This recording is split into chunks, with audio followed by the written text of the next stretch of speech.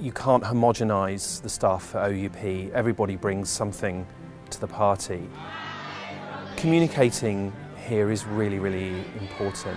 We are a very disparate organisation working all around the world, but we are all working towards one mission. You don't get books made without um, teams working together from um, conception um, the, the, the, editorial teams working hand in glove with the production teams, working hand in glove with creative services and design, all the way through to print and final execution, delivery to warehouses and distribution to customers.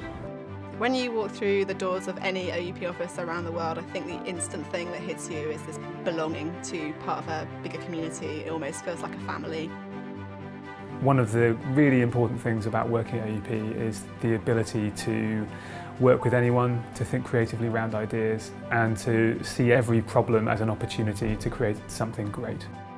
When I joined OUP six years back, it gave me a complete uh, family-like structure. It, it, became an extended family for me.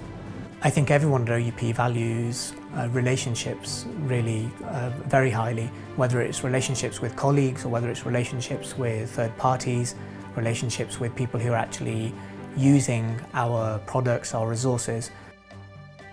There's a strong emphasis on honesty and integrity within the company, which resonates with my personal values, and that's why I like working at Oxford. One of the things I would say about teamwork is the, is the fantastic diversity that's within our teams and how people can benefit from working across international boundaries and learning from each other.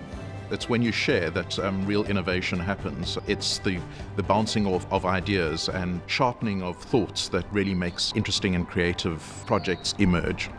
Every morning I get up and I'm excited to harness the talent of people who are so excited and passionate about the job they do. Everyone's really positive. They all think to themselves, yeah, I can think of a better way of doing something. I can think of a really great idea that I want to try out or test with some other people. And that's the kind of culture we want to foster, is one where everyone's ideas are heard and everyone's thinking about the best way to do something and the best way to support education.